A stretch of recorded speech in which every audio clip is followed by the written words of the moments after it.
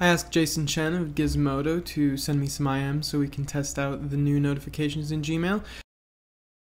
So as you can see, they sort of pop up in the top right of the window. They don't really stay on the screen the way that Growl notifications do, but they're still pretty handy.